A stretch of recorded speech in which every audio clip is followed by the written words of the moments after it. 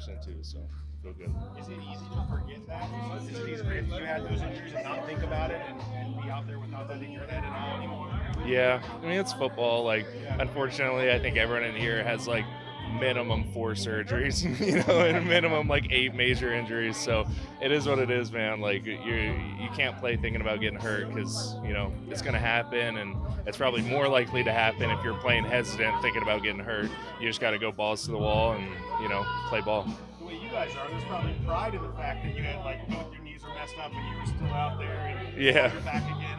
I mean, I, I assume that that's a priceless thing for you guys. Yeah, I think that it's it's just assumed like when someone gets hurt, it's just going to be how absolutely soon can I get on the field, you know, because it's it's a sport, but it's more serious than that to us, you know. And it's like when you're when you're on the sideline watching, it's just as a competitor, it's really hard. It's hard to do that, and you just want to be back out there. And uh, so that's how I felt last year, and I think that's how everyone feels when they get hurt. I can't help but smile a bunch as we've been asking you these questions. You in a good mood? I'm in a good mood. I'm healthy. I'm playing football. and I feel good out there. Like, um, I don't have anything to complain about. Life's good. I've got a beautiful daughter.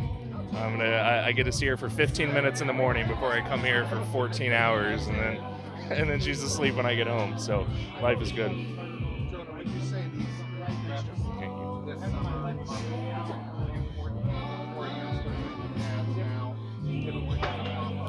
For sure, and I think it's a combination of coming off of this injury and also changing sides at the same time. It's it's kind of a double whammy there. So um, I think it's super important to get these reps in, and so I come in here every day like just knowing that I'm going to leave the building better than I was when I came in, and you know that's what I've been doing so far, and I'm just going to keep on doing that.